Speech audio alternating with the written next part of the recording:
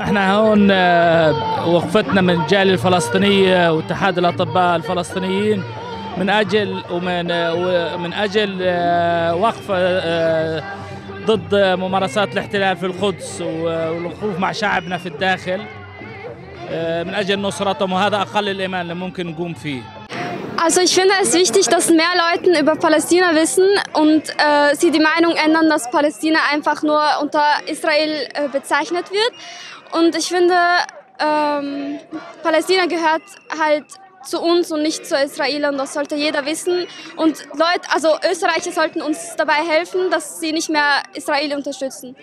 ما بنحارب اسرائيل لحالها بنحارب العالم كله الصهيونيه العالميه حاكم العالم We are here today because we want to stop the Israeli aggression on Palestine. Um, what happened last week on the Al Aqsa Mosque in Jerusalem, um, 500 people got injured, got arrested by the Israeli occupation forces, and after they were bombing Gaza. So we here in Austria we want to spread awareness that the Austrian government also stops um, supporting Israel. نؤكد هنا من هذه العاصمة النمساوية الأوروبية بأن الشعب الفلسطيني مصمم على نيل الاستقلال. والمشكلة إنه ما حدا عم بيقدر يوقف هذا الإجرام اللي عم بيصير بفلسطين وبالقدس. ومن هذا المقام نقول لشعبنا نحن جميعا معكم ولا تخشوا هذا الاحتلال الإجرامي.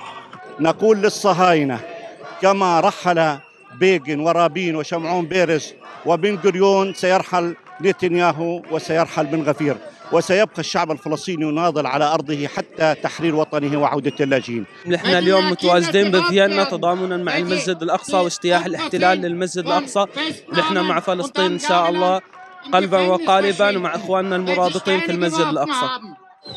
بدنا نوصل صوتنا للي... آه، للإسرائيلية إحنا كل مرة إحنا عم نعيش خوف ودمعة.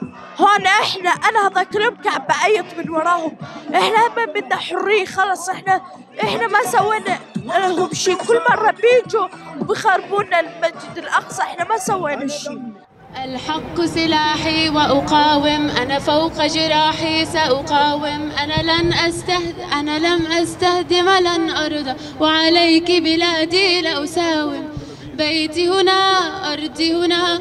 بحر السهل النهر لنا.